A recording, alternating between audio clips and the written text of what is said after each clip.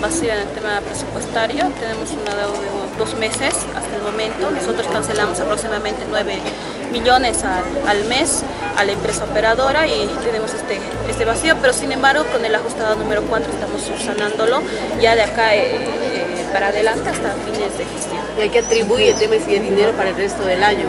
Bueno, lastimosamente eh, estamos con un presupuesto realmente muy apretado como municipio, las demandas en temas de obras y bueno, la parte financiera también ha, tenido que, ver esta situación. Nosotros somos la parte operativa como tal, nuestra prioridad es poder eh, realizar el, control, la supervisión y fiscalización a nuestras. Es una obligación y una responsabilidad, obviamente, el tema de poder hacer estos pagos recurrentes, tanto a las empresas operadoras eh, como sea de tratamiento funcional o ya sea de aseo urbano. mire, el tema de garantizar, eh, nosotros obviamente tenemos que garantizar los pagos hasta fin de gestión.